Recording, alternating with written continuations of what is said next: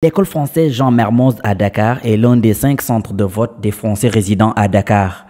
Ils sont appelés aux urnes pour le premier tour de la présidentielle. À l'entrée, dix photos des onze candidats sont affichées. La candidate du Front National est la seule absente. Selon la chargée des relations presse de l'ambassade de France au Sénégal, Marine Le Pen et son équipe n'ont pas envoyé leur affiche.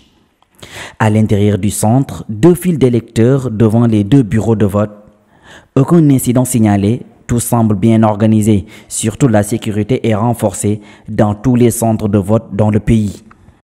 Alors pour ce grand rendez-vous démocratique, euh, nous avons euh, travaillé étroitement avec la police et la gendarmerie euh, sénégalaise pour assurer le maximum de sécurité, avec en plus aussi l'aide de sociétés de sécurité privées.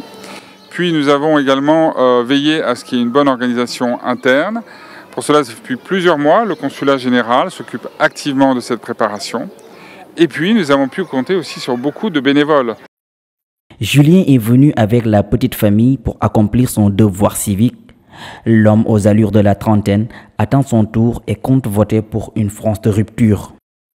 Avec les attaques sur les Champs-Élysées et certains discours des candidats sur l'immigration, les ressortissants français basés à Dakar veulent un candidat pour le changement sur tous les plans. Au niveau de l'économie, au niveau d'une réponse contre le terrorisme, euh, voilà. Vers plus euh, de fraternité aussi entre les gens et puis peut-être euh, une société plus juste. Voilà, c'est ce qu'on ce qu'on souhaite. Parmi la communauté française vivant au Sénégal, la plus forte en Afrique subsaharienne, 13 000 électeurs inscrits sont appelés à ce scrutin. Les résultats du premier tour attendus d'ici quelques jours devront déjà donner un avant-goût des relations entre la France l'Afrique.